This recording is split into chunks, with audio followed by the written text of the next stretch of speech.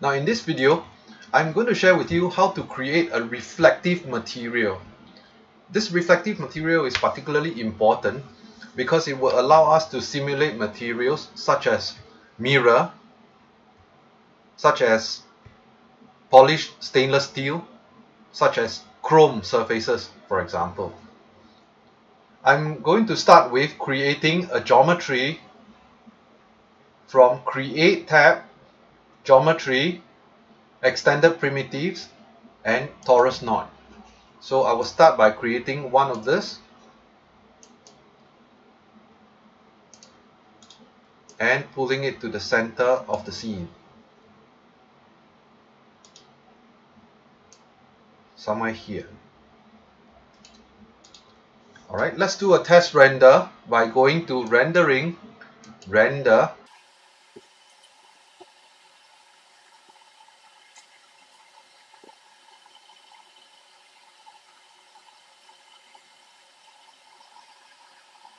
So we can now see that the geometry is in green color at this point without any materials applied to it. The torus knot is often a good geometry to evaluate reflective surfaces because of its curvish because of its organic shape or curved shape nature it will allow us to capture the reflective qualities of the environment that the geometry is actually residing in at this point So let's go ahead and take a look at how to configure a reflective material. So I'm going to start with using any blank material slots here. And I'm going to choose standard. I'm going to click on this button standard here and look for a ray trace material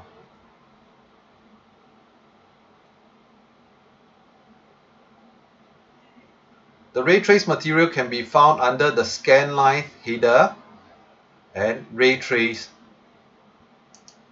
So I can double click on it or I can click OK. And with this, I'm just going to select the geometry now and click on assign material to selection here and with this we can do a test render to see what happens.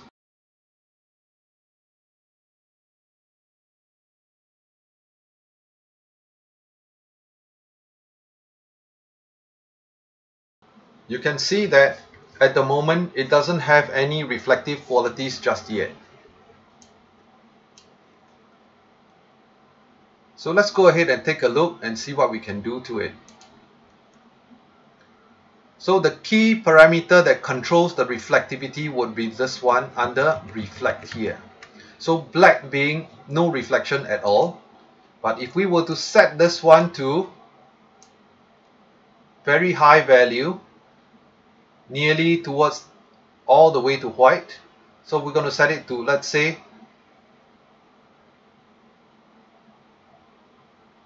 to about 215. Now, Let's take a look again and do a test render.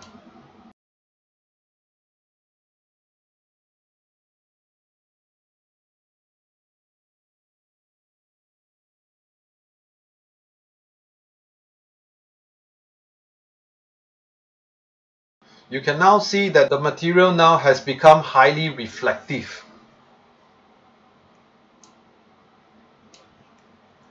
We're going to try to see if there are any changes if we were to make some change to the specular values here, the specular highlights here. So I'm going to raise this to 100 and set the glossiness to 0 from here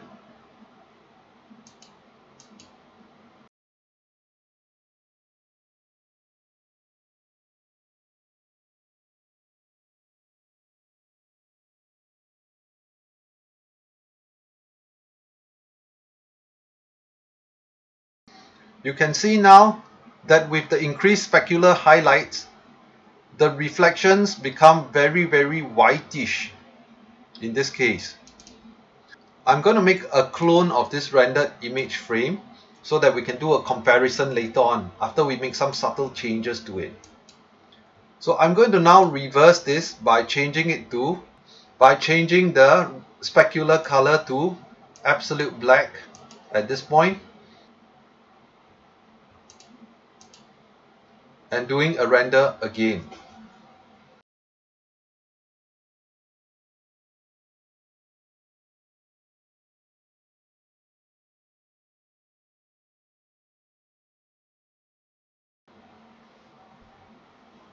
Let's compare the difference here.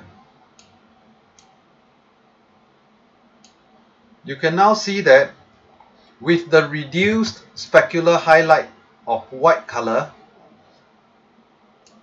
the material now becomes a whole lot more metallic or chrome-like compared to the more polished aluminium-like finish in this case. So depending on whether you want something more mirror-ish or chrome or polished stainless steel like finish you might need to tweak the specular levels a little or the specular colors or we need it to be more polished aluminum like finish okay now with this I'm gonna see if we can uh, create other shiny materials or not this is often than not a, a bigger challenge here uh, amongst new users. Huh? So I'm to try to create another clone of this, of this torus knot. Huh? So I'm to just uh, select and hide away the sofa now and create a clone of this torus and I'm going to just place it right beside the existing one here. Okay, and uh, let's click on the material editor again. And this time round I'm going to select another empty slot down here and uh, instead of us having to configure I'm going to share with you another method of which which makes things a little bit easier to use uh, because there are templates given. Alright? So what I'm going to do is I'm going to click on standard again. And this time round I'm going to change it to a physical material here. And with the physical material uh, our lives becomes a little bit easier because we can now click on the choose presets here and we can go scroll down and perhaps look at some of these metal finishes here these metal materials here. Um, then let's look at perhaps uh, gold for example. Or in this case uh, let's try satin gold. Okay? And with this uh, it's a gold material with a satin finish right? So I'm gonna apply it to the new torus knot clone here. And I'm again going to do another test render to see the effects.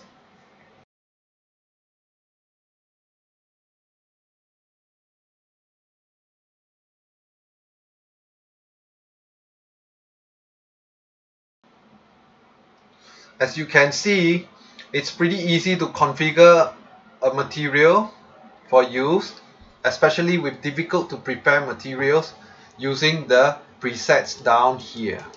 Okay? So I'm just going to make another clone of this one more time huh? another copy of this in front.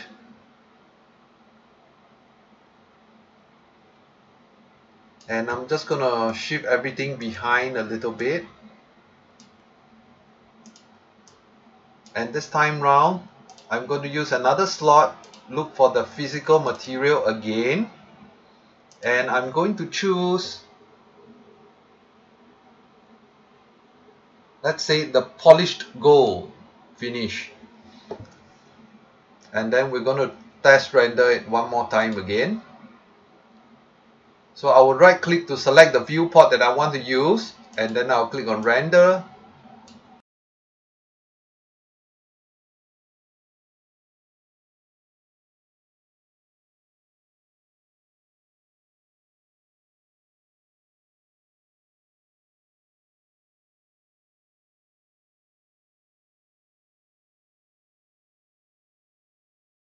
you can now see that the difference between the satin and the polished gold is the highlights the clarity of the highlights here. It's a lot sharper and a lot clearer compared to a little bit more diffused uh, when you look at the satin gold finish here okay? This part. So do take some time to explore some of these preset materials here and uh, figure out how to change some of these parameters slightly and to see whether you can yield better finishes that you can personalize for your own